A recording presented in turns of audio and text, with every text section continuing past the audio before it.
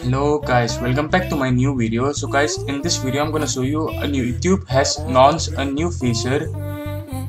So guys before we begin i need you to subscribe to my youtube channel right now and make sure to turn on the post notification so you can get my latest uploads. So guys talking about the dark mode on youtube.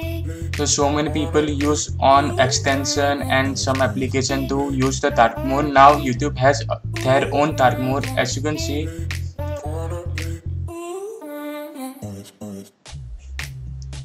Right over here. You can just use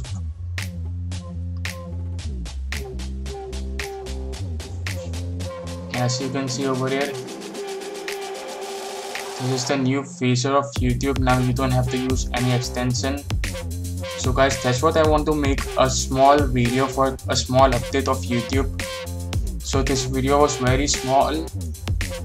If you enjoy make sure you leave a like comment and don't forget to subscribe. Until then see you in the next video